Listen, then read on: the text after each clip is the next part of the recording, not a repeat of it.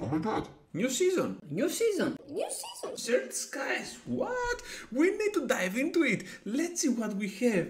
And what? Thunder Punch? Thunder Punch. Again, Thunder Punch. Oh, it's Swift. It's not Swift. What? That's Body Slam basically. Okay, we got it. Let's dive into the showcase of Shared Skies. Okay trainers, let's begin now with Go Battle League Shared Skies update. So this is gonna be looking kinda weird, but you're gonna see what I mean in a while. Uh, first of all, I just saw the Thunder Punch and the Swift and I have no clue what else I should expect, so let's see what is going on. So Go Battle League Shared Skies, okay, the standard rewards before the season rotates, I want to remind you at this point that you can always use your star piece if you have ranked kinda high on Go Battle League, so that you can get some extra Stardust, which is pretty neat if you ask me. So here comes now the schedule. We're gonna have from June 1 to June 7 the amazing Great League with Ultra Premier. Okay, you know what? I'll take it. Great League is always a fun favorite format and Ultra Premier is for those that want to have some extra fun in Go Battle League. Uh, the following uh, week we're gonna have Ultra League with Summer Cup Great League Edition. This is right here is gonna be my favorite format in Go Battle League ever. This is the format that, that, that uh, Zapdos goes crazy against the entire meta and I really can't wait to showcase my skills here. But I really hope that they would add this one later on since uh, still we're gonna try to rank up in Go Battle League and we could not use this uh, uh, format to rank up to legend or whatever. So the following week, June 14 to June 21, we're gonna have uh, Master League and Summer Cup once again. So yeah, Summer Cup, Master League, stuff like that, 4 times Stardust whenever uh, Master League is around, which is also pretty nice uh, June 21st to June 28th and yeah all leagues will rotate. Next up Great League Master Premier. Okay let's keep going. Great League Remix with Ultra League Master League with Great League Remix and yeah this is getting kinda uh, boring uh, having this back to back to back to back seasons but I really get it anyways. Another rotation here with uh, three leagues in one single week. And next up, okay, July 26th, we're gonna have Fantasy Cup. This took a while. So you know what? This looking kinda good. I like it on Great League as well. Fossil Cup on Great League, Fossil Cup on Great League and Cats Cup on Great League alongside those leagues. I really hope that Niantic sees at this point that Cats Cup will not be a popular format and perhaps they completely remove it. It makes no sense and yeah, eventually it turns out like a Bastiodon meta or whatever because people don't care about Stardust most of the times. So anyways, and we're gonna close the season with the complete rotation of Great Ultra and Master. Okay, pretty good so far. So next up we have the Go Battle Week which is gonna last from August 16th to uh, August 20th and I guess that this is not a week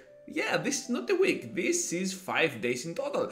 Uh, 16, 17, 18, 19, 20. What are you talking about? This is not a week. This is more than half a week. Uh, anyways, we're gonna get the usual uh, 4 times Stardust uh, win rewards and we're gonna have uh, 20 sets per day. Okay, this is gonna be looking pretty good. So we're gonna have rewards of a week avatar item, yeah, we don't care about that. We'll have a wider variance of attack, defense and HP. Okay, so random uh, IVs in Go Battle League. So here comes now the guaranteed rank up encounters. Wingull, yes, I'm just kidding. Uh, Scraggy, Deino, Goomy, Jangmo, Pikachu Libre. We can always skip those except the Pikachu Libre. We don't care about the rest, right? We're also gonna have a Goomy Community Day later on uh, this uh, month, I guess uh, June, not this month, May. But anyway, standard counters, Machop, Gligar, Wingull, yes, Grabbing, Skwovet, uh, Freely, Scarbing, uh, Alola Marowak, Lickitung, Gralts, all these are kinda useless and have kinda decent usage in PvP.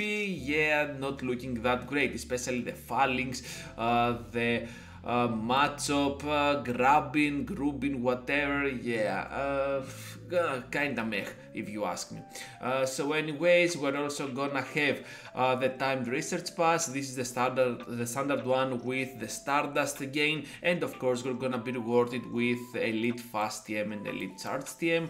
Uh, avatar items, okay, this outfit looks cool. The pose, not so much. I don't know what Niantic is thinking lately. They definitely have better poses on. Uh, uh, the paid events that uh, they introduce new poses actually. So yeah uh, what is this? I don't know. Uh, we're gonna just skip this one.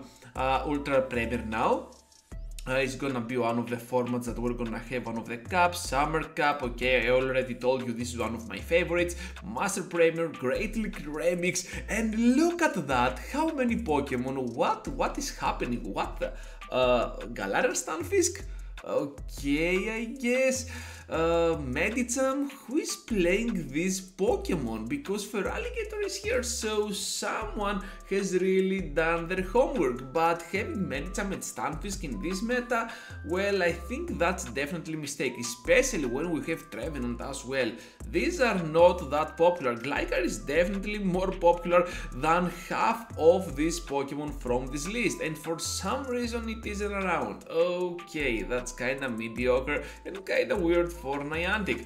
So we're just gonna keep going here because most of this list are gonna be meta relevant, but some Pokemon are not supposed to be here. Anyways, uh, so Gligar should have been in this list, okay? But yeah, for some reason it isn't. Uh, Fantasy Cup, Great League Edition uh, with Dragon Steel Fairy. I really like this format as well. It might be looking kinda restricted, but still it is kinda balanced. In my opinion, at least, you can feel free to disagree.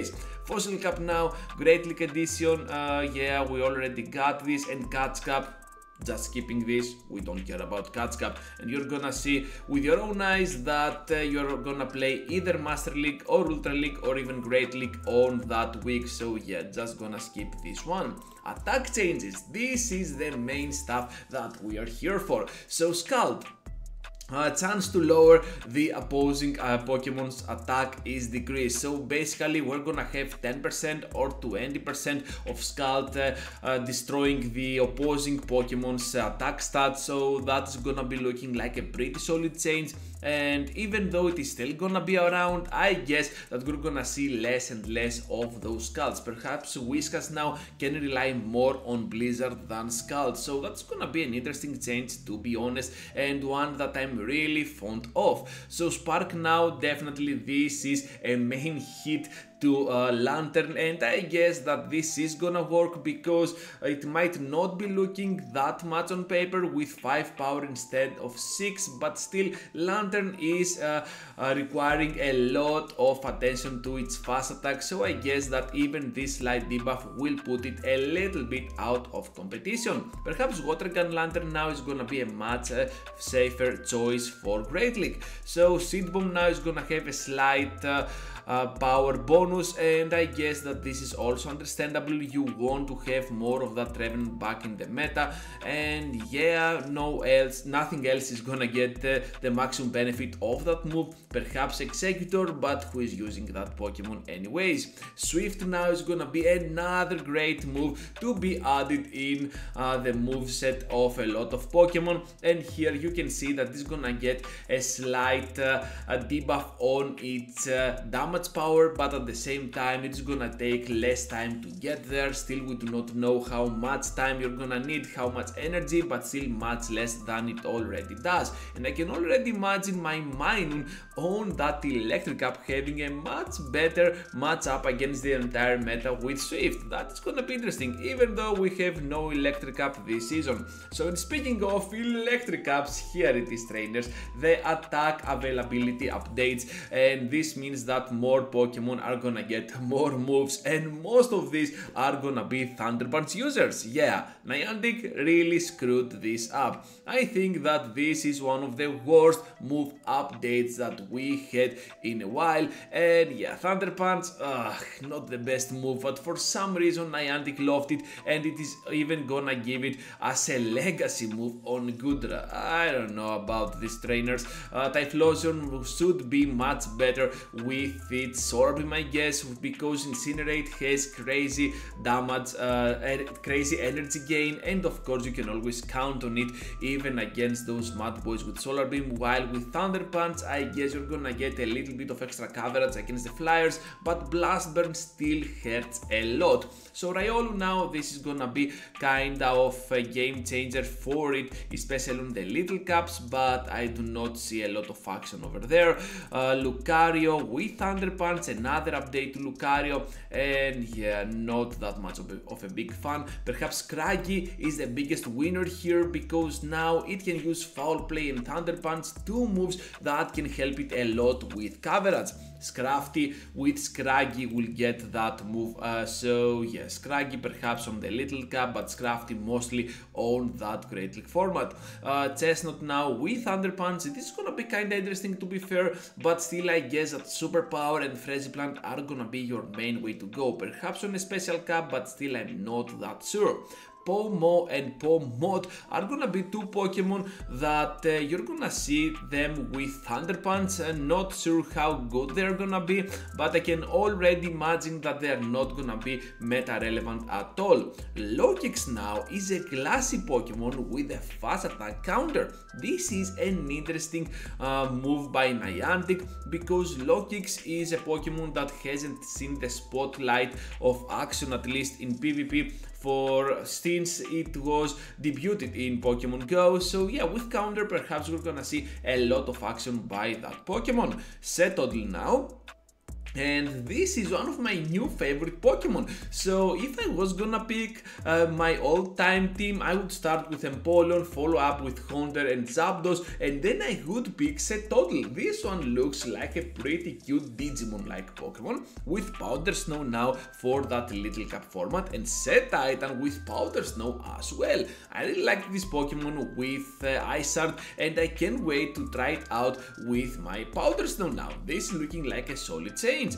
Naganadel is gonna be another Pokemon to get the massive uh, move update and I'm just joking because Dragon Claw is gonna help it but not that much. If I were you and I want to use a Dragon Poison type uh, Pokemon I would just go for Dragalge. It is still gonna outperform anything else in Ultra League and uh, Great League while you still can use Naganadel, Naganadel or whatever in Master League so it's all up to you. Clefairy now, Clefable, Jigglypuff, Wigglypuff, uh, Wigglytuff, uh, Cleffa, Igglybuff, Teddiursa, Ursaring, Ursaluna are all gonna get massive addition with that Swift. And yeah, this is gonna be looking kinda interesting because of how uh, they can manipulate that move towards their advantage, this Pokemon I mean with its stab attack bonus, so perhaps you can uh, use them towards your advantage as well. I'm not sure about this move, perhaps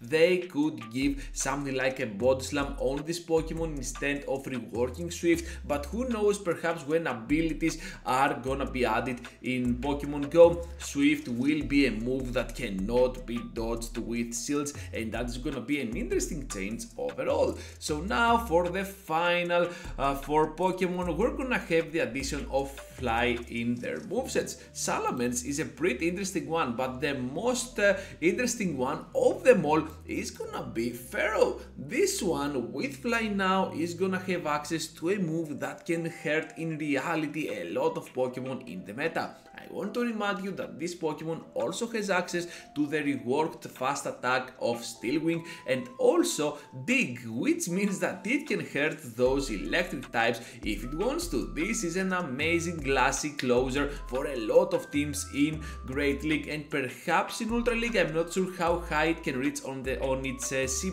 But definitely on Great League this is gonna be a game changer for Fearow. Swan and Zubat now are also gonna get fly, but I do not see them having a lot of actions, so a lot of action in PvP at least. So that's gonna be all about the update, and I guess that Fearow alongside what else? Uh, Set Titan, Lokix, and perhaps uh, Scrafty are gonna be the main big winners of uh, this move update, while we're gonna see of those water types for sure, especially with the debuff of Scald, and perhaps a little bit of less Lanturns uh, against us. So yeah, it's gonna be looking like a much healthier meta, but not that much different from what we used to have uh, in the previous seasons. So that is gonna be all for today trainers. Thank you for watching, for sticking around till the end. Write down in the comment section what was your favorite uh, moment of this big move update because mine was definitely heavy Wingull. I'm just joking.